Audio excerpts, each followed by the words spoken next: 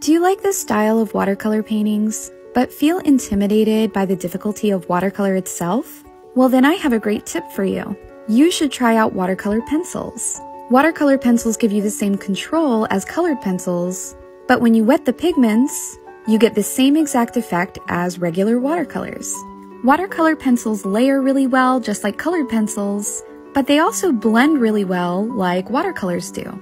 And they're super versatile as well. You can get texture where you want texture, and blending and controlling the pigments is much easier with watercolor pencils. Of course, you can also get really smooth textures as well when you re-wet the pigments. On today's painting, I'm using the Arteza 120 watercolor pencil set, and I really hope that this video inspires you not to be afraid to try out watercolor, even if it's in pencil form. As you can see, the results are beautiful, and definitely check out the Arteza set.